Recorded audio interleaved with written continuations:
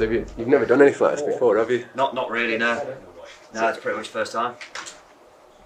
Right, then. we ready? Yep. So when I'm doing this, I'm I looking at the camera or am I looking at him? Sam.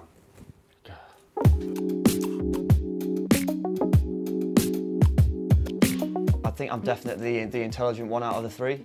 Um, so the other two are good and they're good at their jobs and stuff, but I think if you're looking for edge, they'll come to me a bit more. No, to be honest, um, yeah, I'm apparently I'm the only one that can draw. Uh, I definitely have the best beard out of everyone. Um, so my main interests are like the mechanical design aspect of it. Um, spent quite a lot of time with doing the CAD. I really enjoy that. So, uh, so do you think you're like one of the best? Of course, definitely. I'd say I'm the logical one of the group. The other two guys like to joke that I like data way too much. But uh, they're not wrong. So in this episode, we're going to discuss uh, about a little bit about our graduate project. Um, we're going to talk to you about how we've managed to go from just an idea all the way to sketching on paper. And then throughout this this video series, we'll be uh, testing those ideas, seeing what works, what doesn't work, and then from there we'll, we'll start refining our product, designing it to a more specified specification. That's it. Wow. wow, extra alert. Us three are the first wave of new grads, so it's been a bit of a learning curve for us and Tharsus, but we've really been able to get the freedom to try out different aspects of the company, spend basically a year rotating around, finding out what we like, what we enjoy. I love my beard.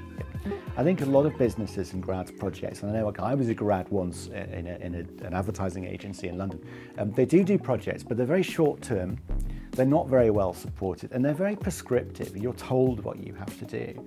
Whereas um, our guys have just been able to kind of totally go their own way with it and use their imaginations and do something different and, and actually do something which, you know, is a game changer, delivers competitive advantage.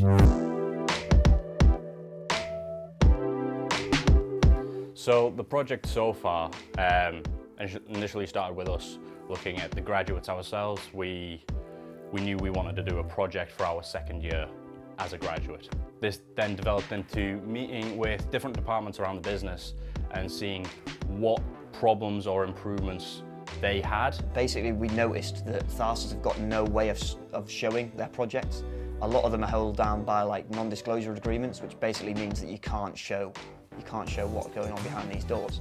Um, but we really wanted to show Tharsus' capabilities to people. I realised that it gave us an opportunity to get involved in a project which could be really quite exciting and quite a game changer for the marketing department, which is what Tharsus is about really. It's about game changing. Um, but also a project which would give us a, a degree of entertainment and amusement as it rolls out. it's certainly done that.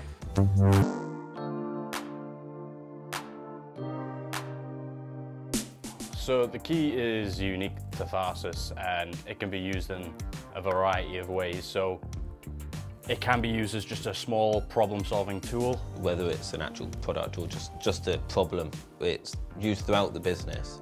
So a single department, they know what they need to deliver to give it to the next department to do their section.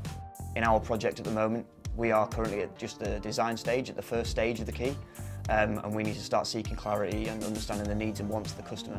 Once we had a, a defined problem statement from marketing, me and Sam and Ed, we sat in a room and we developed this mind map which exp- expands and explores all the needs and wants of that project. I'm looking forward to seeing in the next couple of weeks how that kind of solidifies and we get some solid examples of, of where we're going. But yeah, it's, it's exciting. So we've just started sketching concept ideas and we're hoping to get quite a few more together once we've got a good number that match our needs and wants, match that flow chart and tick those uh, requirements. We'll, uh,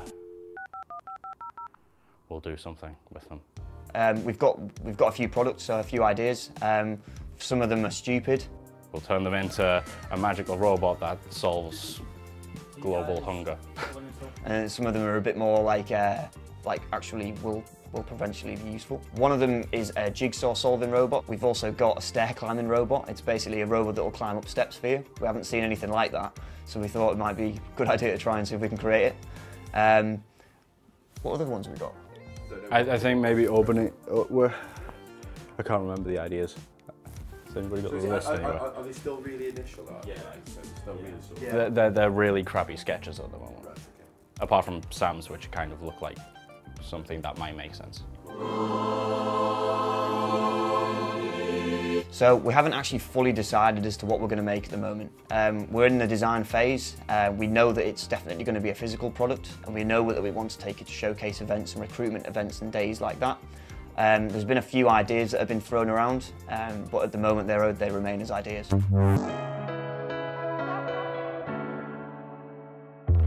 Uh, I just love the freedom of it. I don't think many companies give you a lot of chance just to design and go away and, and give you the freedom to, to crack on with a project, but Tharsus definitely do.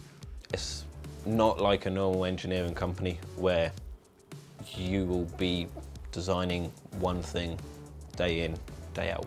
Every day is different. Every month there's there could be a different project coming in the door.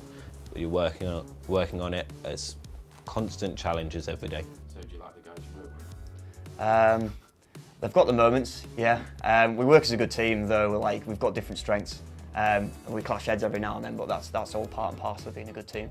I'm amazed that they haven't killed each other by now. I have learned so much in this first year working at Tharsus in a practical sense that combines with the theoretical knowledge that I gained at uni, which is, uh, I think it's rounded me out nicely as an engineer. So far, anyway. Lots of room for improvement still. So in the next episode, we're going to do more about design. Um, we're hoping to get more like line drawings and actual detail and technical specifications. Um, we'll also get to the point where it's in three dimensionals. So we'll go on we'll go on CAD um, and we'll start to actually try and buy some of the items and start testing aspects of it as well.